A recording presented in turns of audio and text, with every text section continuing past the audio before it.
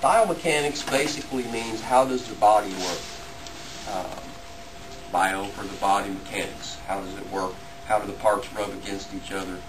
And uh, usually the, the subject of biomechanics relates to either understanding how the client's body works in terms of what may be causing them to have discomfort and how you might be able to help with that.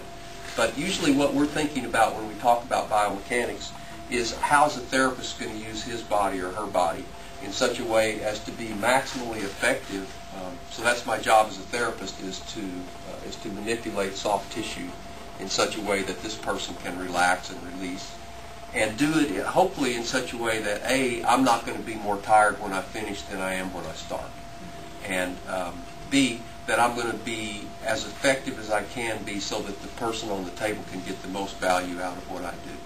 Okay. Um, you can feel as a receiver, you can feel the difference between massage from somebody who's who's tight and massage from somebody who's flowing, who's basically comfortable. And a good analogy for that, although I'm not sure I can model it, uh, you could think about Tai Chi. If you've ever watch people do Tai Chi, it just looks like they're flowing with the energy of the world. They look like they're balanced in gravity, and uh, there's a lot of energy flow there. As, as opposed to if you see somebody walking around or if you go down to the trail and see people running, you can see all range of human movement, but some people on the trail, you know they're getting their cardiac, cardiovascular workout and you know they're going to be happier when they're done, but you look at what's going on to their body and you just think, ooh, you know, that is going to